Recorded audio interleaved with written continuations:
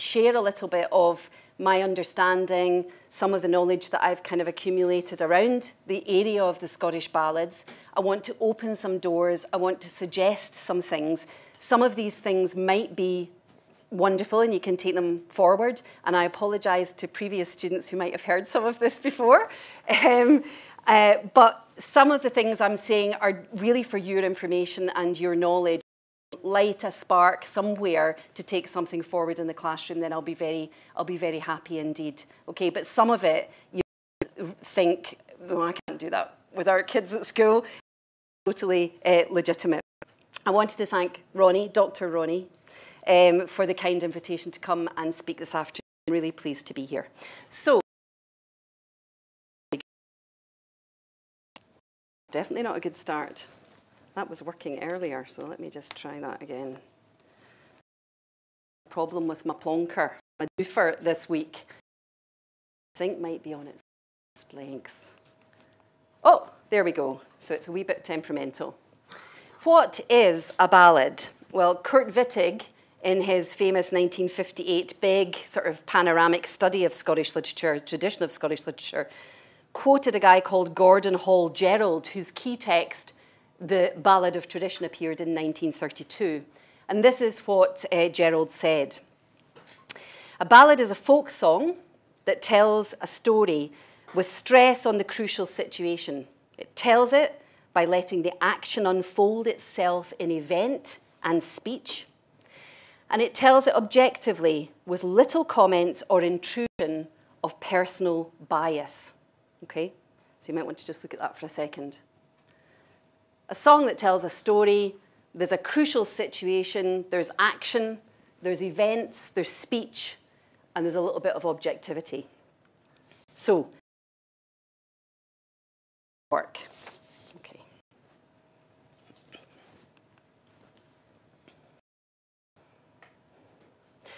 There was a lady within the north, her name was Sarah.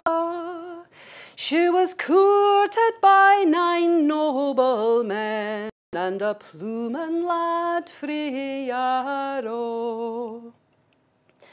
As he gaed up yon high, high hill and down yon dense narrow, 'twas there he met nine armed men come to fecht with him on Yarrow. Now you are me Yarrow, but there's nine o' you and but ye o me, and it's nae unequal marrow. There's nine o' you and but ye o me, and it's nae unequal marrow. Will fecht ye yin by yin in the dewy dens o Yarrow. He slew and three withdrew, three lay deadly wounded. But behind came our brother George and pierced his body through. Now ye'll gang hame, my friend, and tell your sister Sarah that her true love John lies dead and gone in the dowie dens o Yarrow. As she gaed o'er yon high, high hill and down yon den narrow, 'twas there she spied her true love John, a bloody corpse in Yarrow. She washed his face and combed his hair as oft she'd done afore. And she washed the red blood frae his wounds wi' muckle grief and Her hair it was three quarters lang, and the cut it was young. She's tied it round his middle sae small and carried him hame frae Yarrow. Oh, doctor dear, dry up your tears, dry up your tears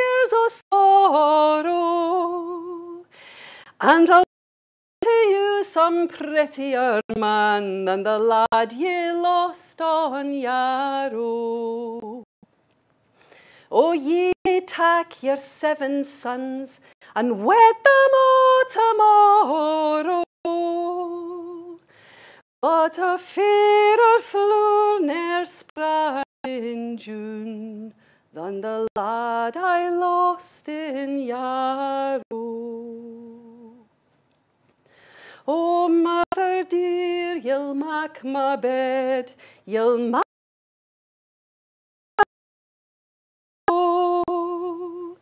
and there lie, I'll die for the lad I lost in Yarrow. Her then did make her bed, she made it soft and narrow,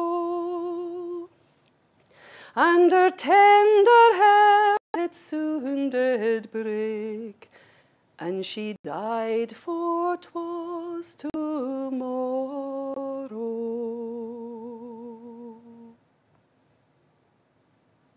Okay, so thank you.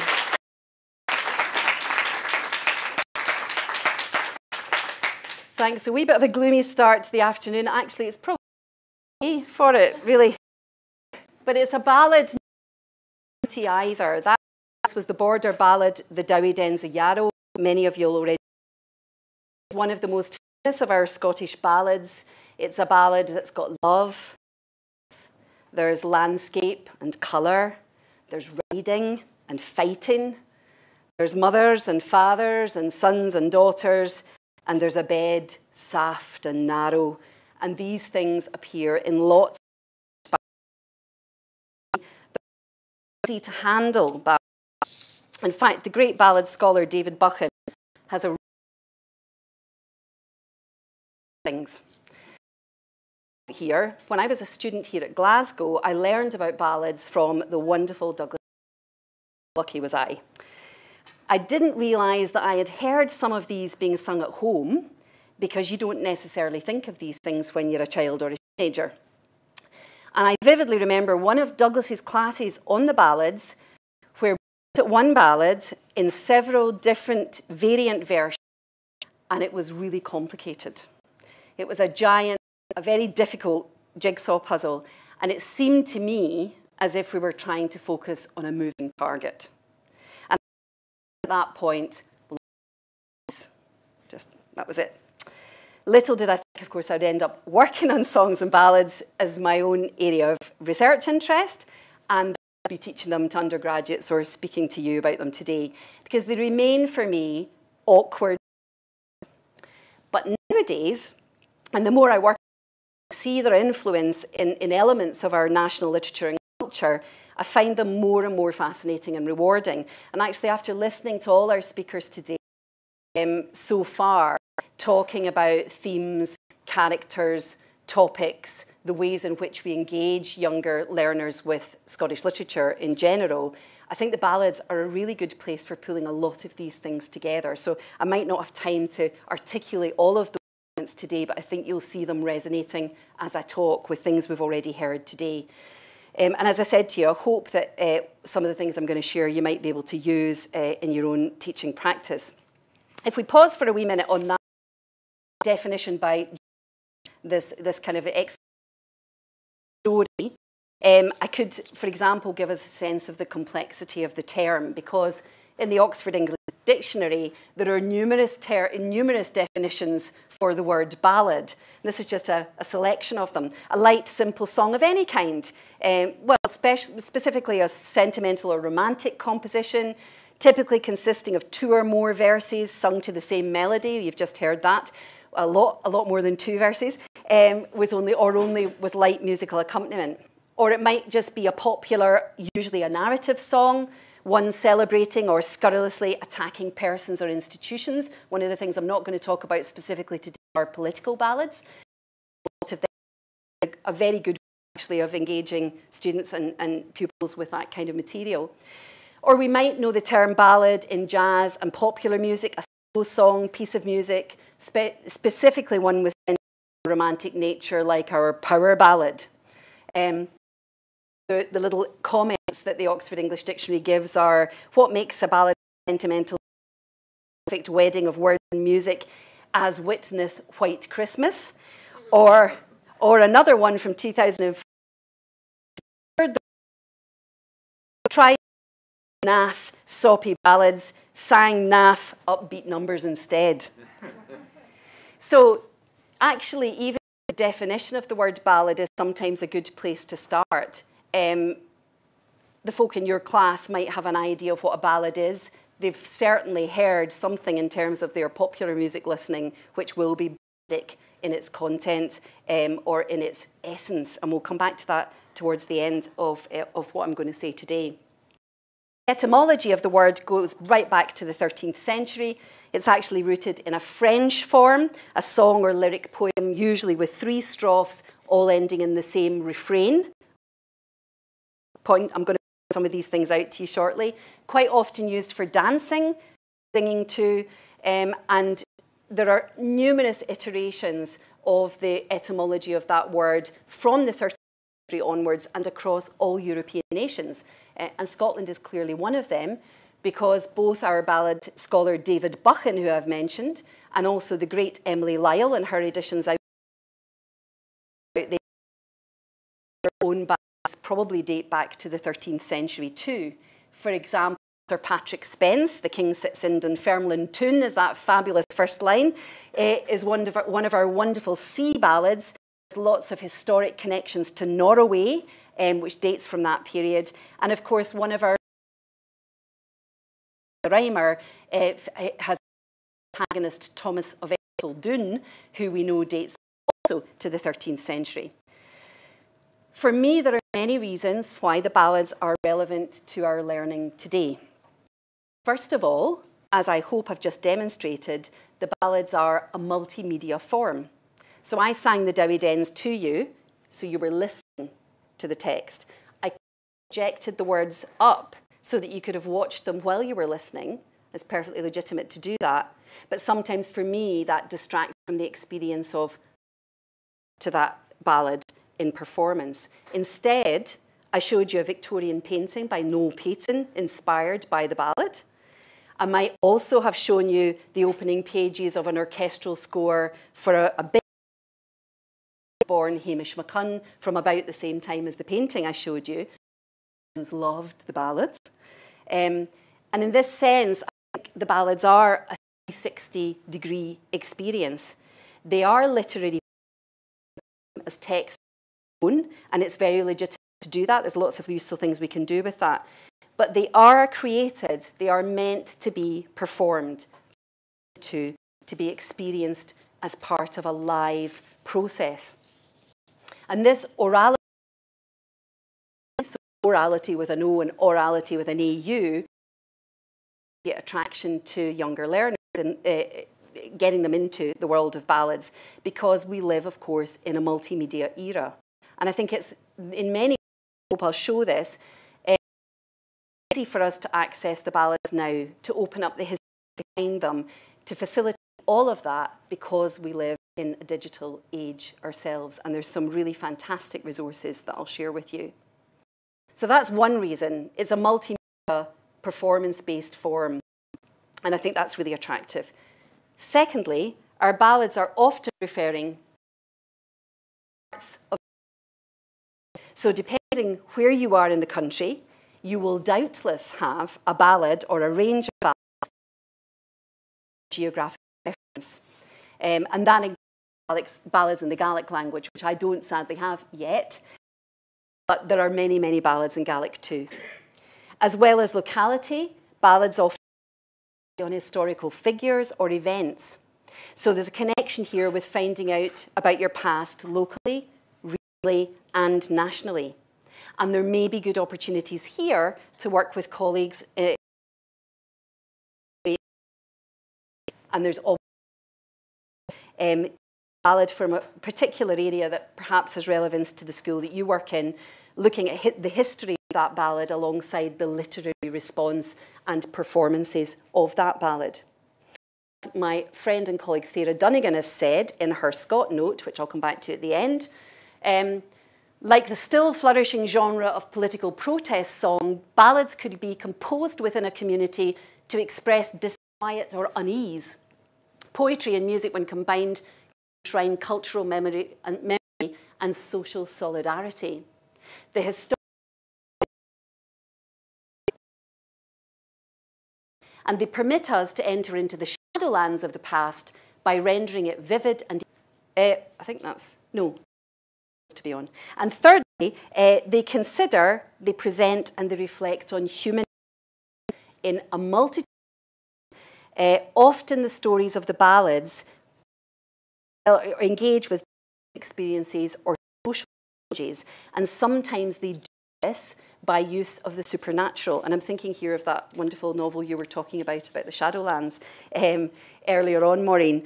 It, they find ways, the ballads find ways of addressing really complicated or difficult situations, illegitimate pregnancy, infanticide, the death of one's children, um, the death of uh, family members who've got, you know, sons who've gone off to war. Um, very often difficult situations for the, for the individual or for the community. And they find ways of, um, of opening up these and exploring these topics in a kind of slightly, in a, in a slightly different way, in a slightly different way. Fantasy is in there. Uh, very often include selkies, ghosts, fairies, witches, devils, brownies, even the metamorphosis of humans animals and vice versa. Supernatural forces are part, of course, of our national, our, na our national storytelling culture. We know about them through Scottish fairy tales, through short stories by Hogg and others that we've mentioned already today, even in works of longer fiction, and they're very central ballad tradition too. So nearly always they're addressing some kind of difficult social or human experience. So if we come back to the Dowie Dens, um, I wanted to just focus on this a little bit to start exploring this idea of, of ballad history. This is a being one of the beautiful glens in the borders, not far from where significant collectors James Hogg and Walter Scott live. We've heard a wee bit about Scott already today. So we might pause and talk a bit about that. But how did a ballad come to be? It's a very good question. Often we don't have authors of the ballads. Anonymous is a very concept to think about and to explore because the creation of a ballad is very much a community creative process. Uh, most ballads have an oral beginning. In other words, somebody generates the story or the ballad.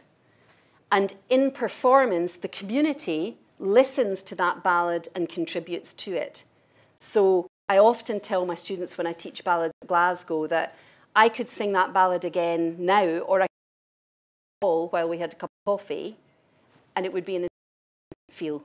The, the audience would be, would be the same. I would be the same. Probably sing it exactly the way I just sang it. Um, it would be a different acoustic. We might feel different at that time of the day or night whenever it's performed. Okay, and I might forget my words. That's why I had them in front of me. I might forget my words, um, so I might change the order of things that happen in the ballad, or I might uh, go round stanza because I get stuck and my memory, my memory, you know, loses me on the way. So they're always changing. And somebody else might say, oh, I heard of her ballad and she goes off down the lane with him and she doesn't come back for two days. And that then gets wound into the ballad. And again, we develop these different kinds of stories around, these storylines all around the same kind of process. Transmits, transmutes and we end up with these multiple variants, okay? So ballads are living texts. Really exciting actually to engage with, uh, with, with students. Behind you can see the wonderful figure of Jeannie Robertson. uh, one of our great ballad singers who was captured orally in the 20th century. On the right, you can see early 19th century print of a street ballad, aren't they, across time. Um, if ballads are living texts, and we pause and look at a printed ballad or we listen to a particular version of one, then we are literally stopping the clock. That's me and my holidays. Stopping the clock. Um, stopping the clock. We are various uh, ballad scholars and ethnomusicologists call it different things. Pinning the board, freezing the bird in flight, taking a snapshot of something that just seconds later uh, will be a different picture altogether. Okay? So that's an interesting thing too, stopping something and thinking about it just in that moment. It's not a text that maybe is going to be the same forever, uh, is quite an interesting thing to think about. Ballad form is very simple. Is the quatrain or a four-line stanza. You can see that there. This is the beginning of the Dowie Dens that I sang, which is one of, one of the child versions. Um, it's most often used naming scheme. Here it's an AB, uh, ABCB here, isn't it? It can be AABB. It can be, you know, any combination really of, of, of that particular format. Repetition is really important. So in the Dowie Dens, Yarrow appears something like 50 times. Uh, and, and actually you would oh, this is really poor. Do you know, if you got that from a, from a student and that was a piece of creative writing, you would say, right, come on, come on now. You're having me on, you're, you're using that, you know, that word far too often. But as you can see in performance of the ballad, it's incredibly powerful that that is the constant refrain of that ballad, okay? Every stanza in that word, okay? Sometimes it can be an eight-line stanza with a refrain. Sometimes you can tag on a little two-line chorus at they engage in performing the ballad with you. And you'll hear lots of, you can hear that online. So this is a form, a poetic form, that is really easily replicated. So a challenge can be, right, let's, let's us write a. Let's see what we can do. What, what would the subject of the ballad be? We're going to write it in a four-line what rhyming scheme are we going to have? What kinds of images would we like to include? we can play here with similes and metaphors and all those things that you're banging your heads with uh, trying to get students to, to engage with or to understand these literary concepts. Colours can be used, important in the ballads. Numbers are very important in the ballads. We'll see a wee suggestion of that them as part of uh, the Dowie Dens. Okay, There's, there is definitely a creative task in there. You might have somebody in the class who's a bit of a singer, of a singer and might on, on singing something or creating a, or choosing a tune that you maybe work with. You can clearly see here that, um, that of the ballad to follow through um, and show you how the ballad transforms even just in our printed culture. Okay, so this is, we'll come to the performance, performance of this ballad shortly. Dating is really hard to do. This is, uh, on this slide, this is the version of the Dowie Dens, and I'm aware it's not great grainy.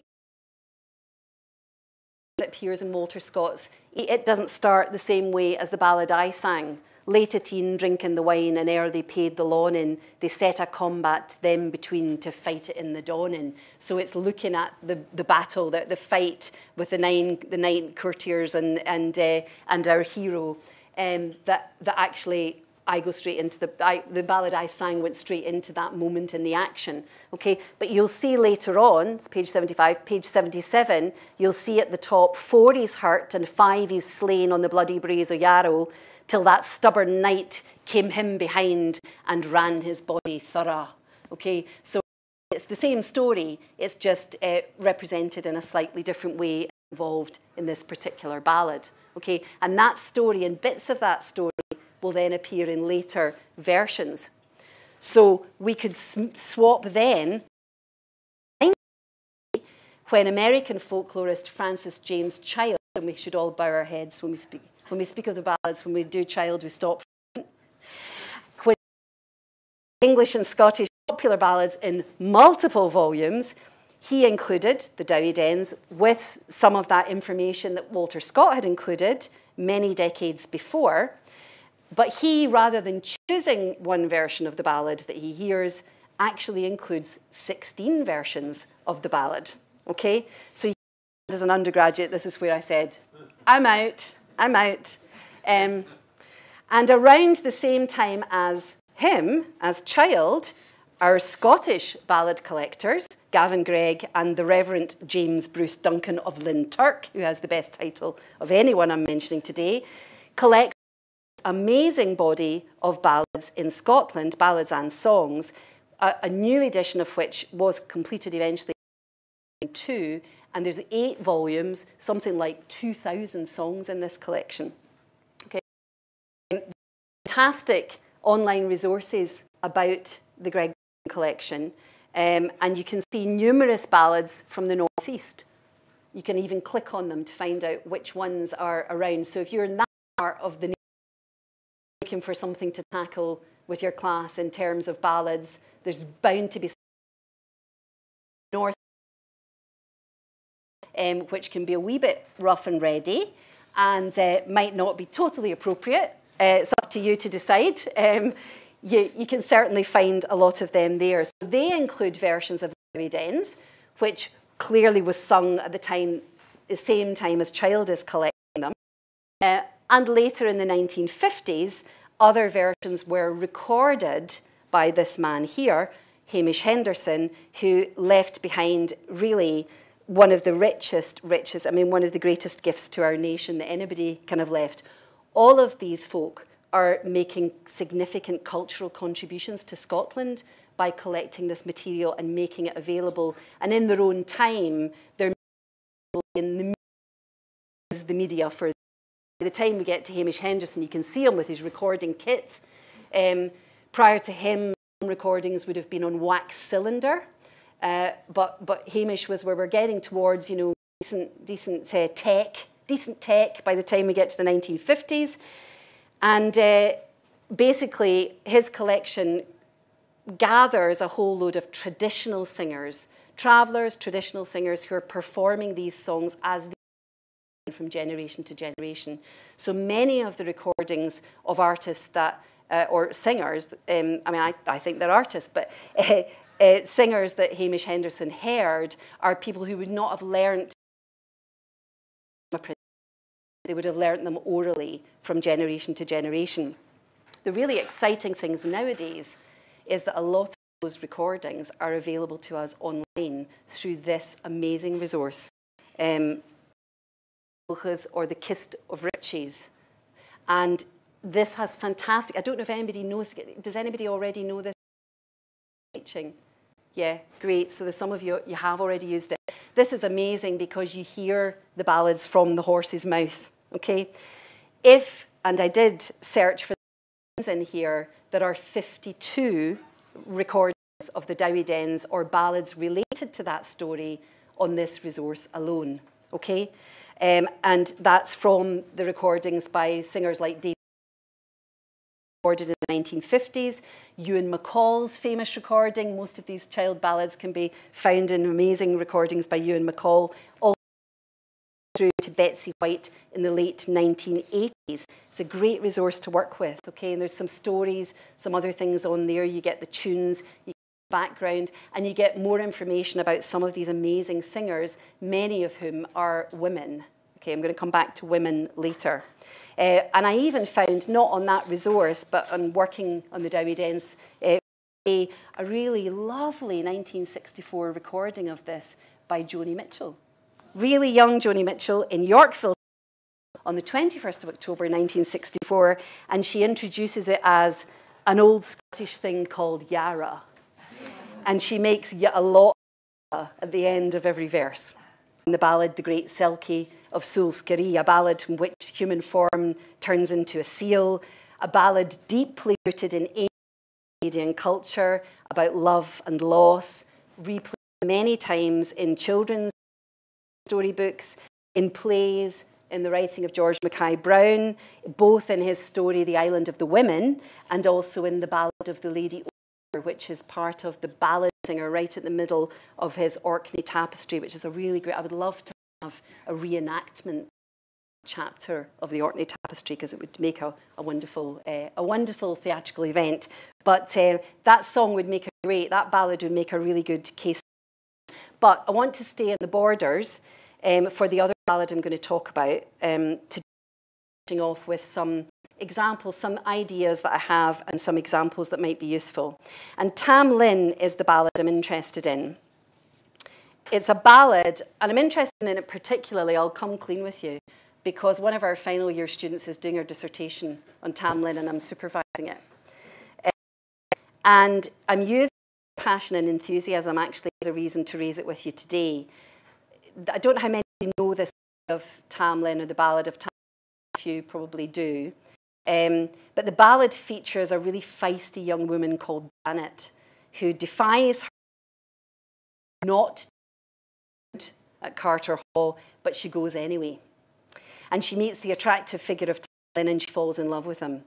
And in most versions of the ballad, she then realizes that she's pregnant with his child. Into the Greenwood, unless that's what you want, I think is the answer. Whether Tam is in love with her or whether he's just manipulating her for his own end is up to us to decide. The rub of the matter is that Tam is in fact enchanted. He's under a fairy spell, his horse in and he's in the fairy world as a result of the fairy queen's glamoury, as it's called in the fairy. He's enchanted by her. He's worried that after his seven year stay in fairyland, he'll be facing a life in hell. And he knows into his mortal state. Janet is willing to help him. And she must do this by waiting in the Greenwood at midnight on Halloween when the fairy troop will ride through the forest. She knows which horse he's going to be on because he describes it to her. She must grab hold of him through his metamorphosis into horrible things, on right of slide, including a red hot poker. I'm not quite sure about, I mean, we can maybe talk time, and animal forms such as a serpent, a bear, a lion. They're, they vary depending on which version of the ballad you're looking at. And version of the ballad, it's one of the only, in fact, I think it is the only ballad that Burns actually handles. Burns likes writes all these and plays around with all these hundreds of songs. Tam Lin is the only ballad version of, uh, by Burns that we have.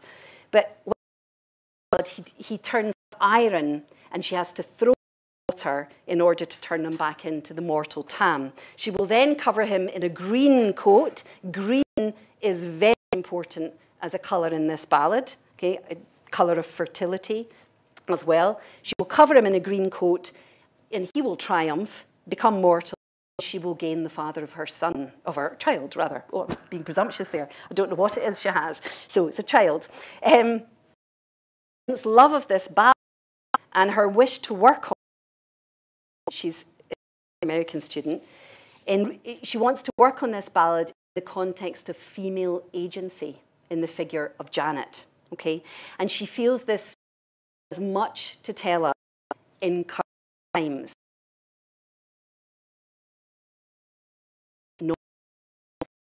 Okay? Neither of them are Scottish. Uh, the first is Dean's novel Tam Lin.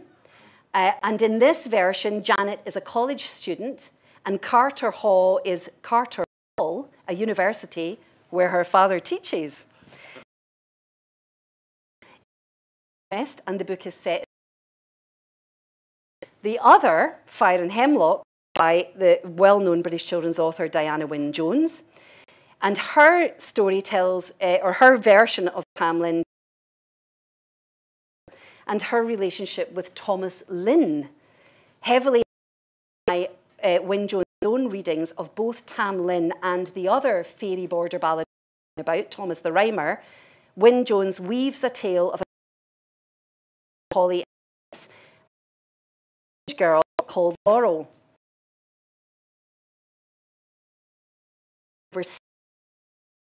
That she really is in love with Thomas.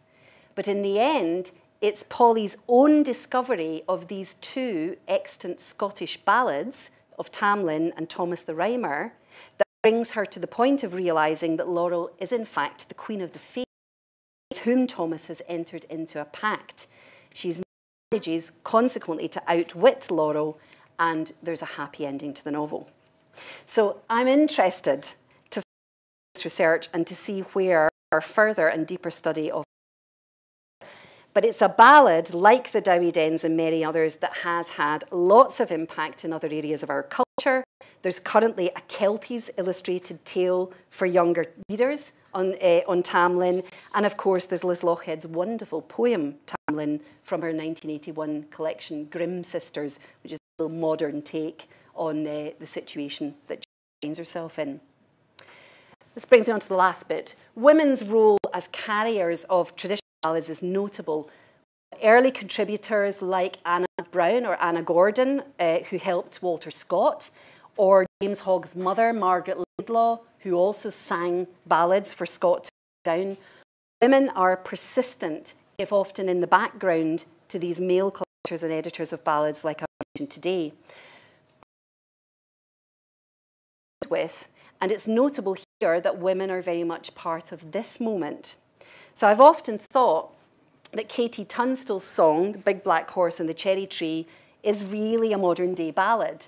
And a closer inspection makes me even more convinced. So she says herself of this song Black Horse and the Cherry Tree is inspired by old blues, Nashville psycho hillbillies, and hazy memories.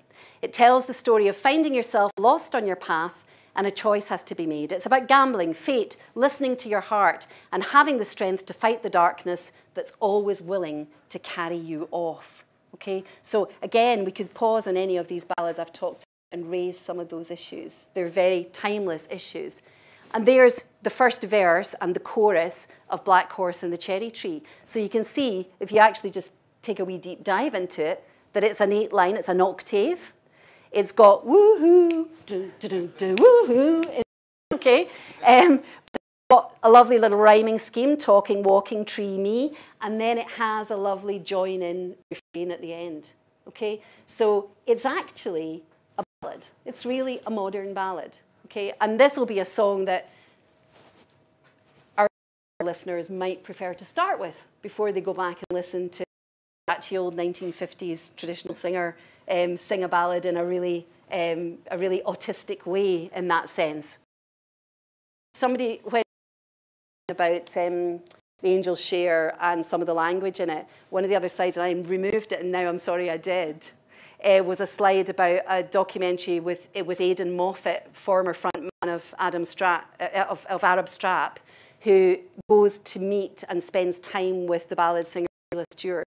And he's trying to sing these older songs and update them and put his own language in his own moment. And she is violently against it. And the two of them have this wonderful respect. He told me about this because he'd watched it as part of his anthropology course.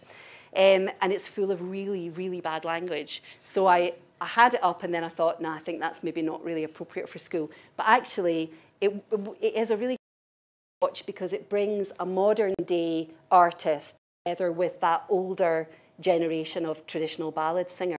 And it visits a lot of songs, including a song like in Time, which actually we sing in a public nowadays and which all our kids know. All our kids know. And they certainly, if they don't know it, their, their grands know it or their parents know it. Or, so there's a lovely familial connection with that song. Leave that slide in now.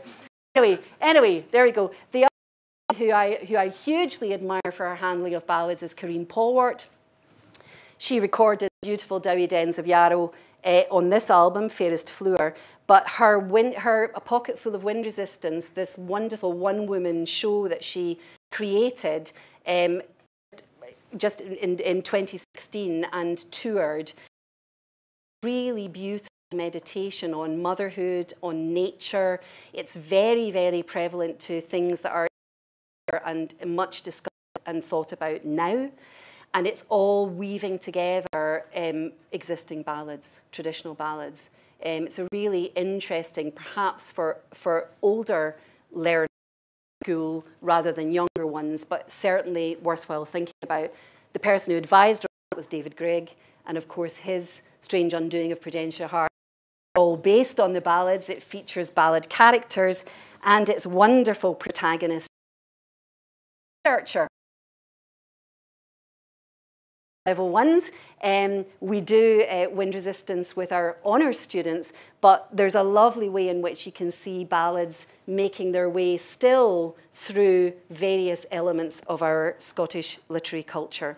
Okay, so I hope I've shown um, some ways in which that you can use some of these resources. I hope I've maybe expanded your knowledge a wee bit just of the Scottish ballads. But I wanted to end by drawing your attention to the existing Scotnotes on this, which is by Sarah Dunnigan. It's absolutely wonderful.